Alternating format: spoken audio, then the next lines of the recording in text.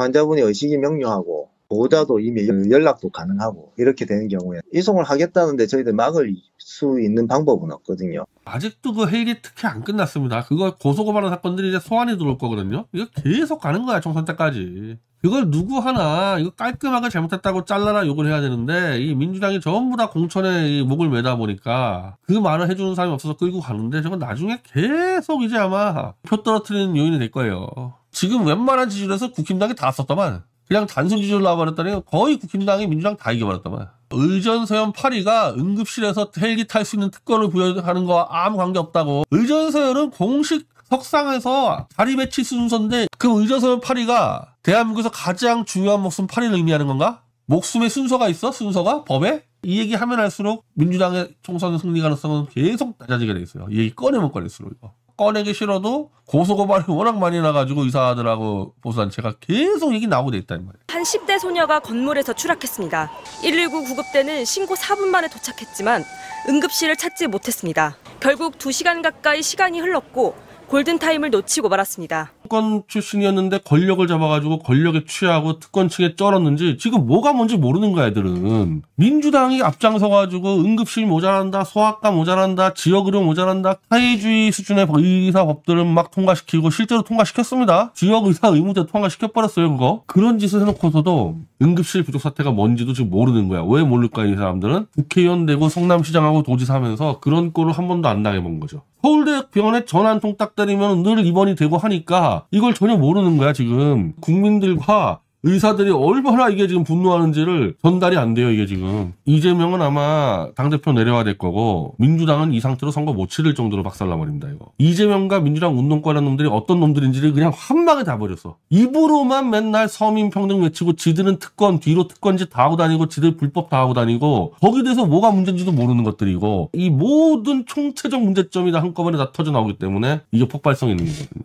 가족이 뭐 원한다 웃기는 얘기야 법을 지켜야 되는 거야 야당 당대표는 이거 누가 옮겼습니까? 부산대에서 다섯 명의 의사가 시술을 준비해 놨는데 이재명 쪽에 있는 정청래 그리고 뭐 비서실장 누구 등등이 더 좋은 데 가야 된다. 서울대에 전화 때려서 그 서울대 의사를 바꿔줬더니 서울대 의사가 부산대에다가 이재명 옮겨 이렇게 했다는 거예요. 헬기를 띄우라는 것도 서울대에서 얘기가 나왔다는 건데 응급관련법에서는 응급 사태를 어떻게 규정하느냐 부산대 병원에서 우리가 능력이 안 돼가지고 이 사람을 응급조치를 취할 수 없어 딴 병원으로 긴급히 옮겨야 돼 이럴 때 헬기 쓸 수 있다는 거거든요. 거거든요. 자기들이 더 좋은 병원에 가고 싶어. 그럴 때 어떻게 해야 되느냐? 환자 네가 알아서 해. 이미 부산대 응급 시술을 거부한 그부터 이재명은 응급 환자가 아닌 겁니다. 이게 한 번 뜨는데 3,400만 원 든다는 거거든요. 한마디로 이재명 돈으로 서울로 가야 되는데 국민 세금에 3,400만짜리 헬기를 줬다는 얘기는 부산대 입장에서는 배임 횡령이에요. 2021년 6월 이 대표의 아들이 경기도 고양시 명지병원에 입원했었고 2021년 11월 그 이재명 부인이 낙상으로 얼굴 찌렸을 때 분당 서울대병원을 찾았든지 실제 성남시 병원은 이용하지 않는다. 의사를 투입해도 안 돼. 지워도 안 돼. 왜 안 되느냐? 특권층 10%가 자기들이 룰을 어기면서 서울대 빅5로 밀고 가는 거야 그쪽이. 지방병원이 비니까 자꾸 통통 비니까 운영이 안 되고 의사들이 경험이 안 세내고 그러면 응급실을 폐지하게 되고. 이게 지금 악순환 됐다는 얘기거든요. 성남시 의료원 가야 되는 거야 이재명 같은 사람도. 돈 있고 빽 있는 사람도 지방병원을 가줘야지만 이게 유지가 된다는 거야. 대한민국의 지금 의료 시스템은 사실상 사회주의야. 건강보험이 거의 다 커버하고 있지 않습니까? 70% 이상을. 국가와 사회가 맡고 있다고요. 정상적으로 일반 일반 국민들과 대부분 국민들이 평균적으로 의료시스템 운영한다. 그 전제로 설계해놨기 때문에 한 10% 정도가 힘있고 빼는 인간들이 마구잡이 해집고 시작하면 다 무너진단 말이에요. 실제로 설계 들어간 거 김대중 때란 말이에요. 이거.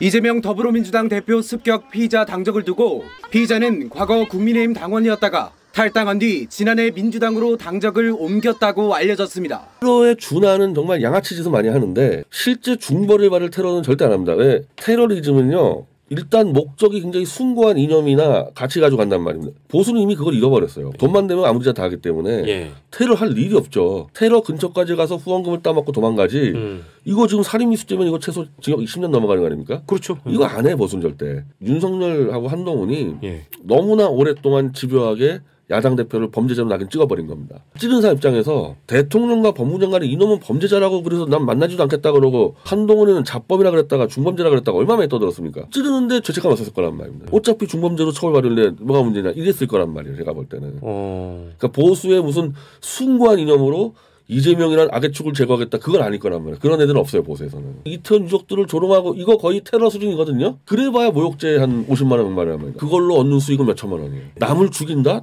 손익끼리 안 맞지 않습니까? 지금 현재 보수가 볼 때 변절한 윤석열의 중선 보수가 볼 때 이재명의 민주당은 보수의 축복이다. 이재명만 계속 있으면은 보수는 영구 집권할 수 있다. 무조건 다 이길 수 있다. 그런 생각들을 갖고 있어요. 보수에서 실제로. 보수에서 이재명을 막 때려 죽여야지 이런 생각들을 안 하거든요. 놔두면 가장 보수가 쉽게 이길 수 있는 상대인데 저 사람을 왜 때려 죽입니까? 감옥에 아직까지 못 보냈잖아요. 이 윤석열 한동훈이. 요즘에 보수에서 누가 이재명 감옥 보라는 얘기 합니까? 얘기 안 해요. 끝까지 끌고 와서 우리가 손쉽게 이기자 그러지. 문재인 잡아내라 그랬는데 왜, 왜 힘없고 쫄보 이재명 갖고 그러냐. 이재명 놔도 이재명 있으면 우리한테 유리하지 않냐. 이런 얘기들이 막 나온단 말입니다. 민주당 체제에 이재명 갖고는 죽었다 깨도 윤석열을 심판할 수 없고 대권은 완벽하게 불가능하다. 전 국민의힘 대표, 민주당 탈당파인 김종민 의원이 공개적으로 만났습니다. 이낙연 씨 친동생이 삼부통원의 그 대표사 가지고 되게 이상하게 생겼었잖아요 그때. 왜 어떻게 윤석열 스폰서가 연결돼 있지? 이제 생각해보니까 이게 이낙연 씨도 또 서울법대라는 것도 또 못 떠올렸는데 아 의외로 윤석열 대통령하고 깊은 사이 수 있겠구나 이낙연 씨하고. 아,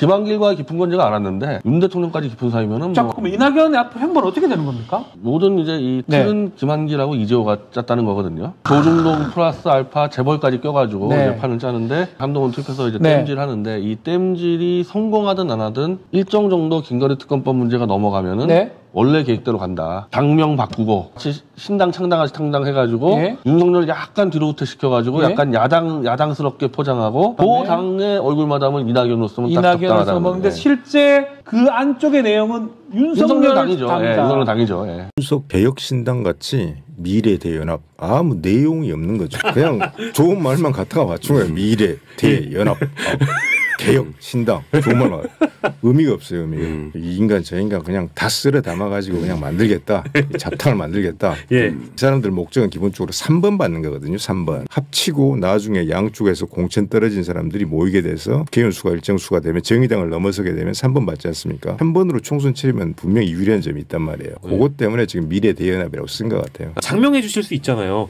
이 사람들을 위해서 뭐 장명을 미래가 불투명한 사람들이 다 모여가지고 한번 해보자. 미래 불투명 당. 솔직하다고 찍어줘서 있을 것 같은데 미래 불투명당. 줄여서 미투당 괜찮네. 미투. 어, 미래 불투명당이 미투당이다.